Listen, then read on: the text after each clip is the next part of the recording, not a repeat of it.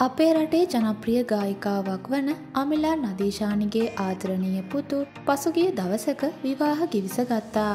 ඔහු විවාහ ගිවිස ගත්තේ ජනප්‍රිය රංගන ශිල්පි දනුක දිලිශාන්ගේ නංගි එක්ක. විවාහ ගිවිසගත්ත මේ දෙන්නගෙන් එක්තරා පුවත් පතකදී මාධ්‍යවේතියා එක් ප්‍රශ්නයක් අහලා තිබුණා. ඒ තමයි පසුගිය දවසක උමාලි තිලකරත්නට දනුක දිල්ශාන් ලේනෙක් දීලා තිබුණා.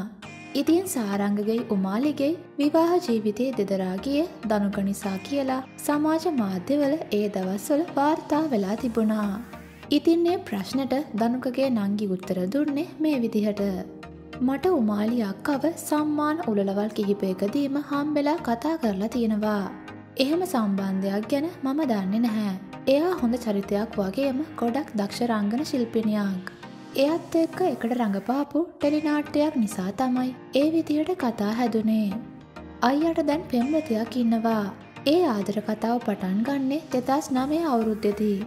ඉතින්නේ අක්කා දෙදස් දහය අවුරුත්තේ මි ශ්‍රී ලංකා දෙවනි තැන ගත්තා. දෙන්න තරහ වෙනවා යාළු වෙනවා.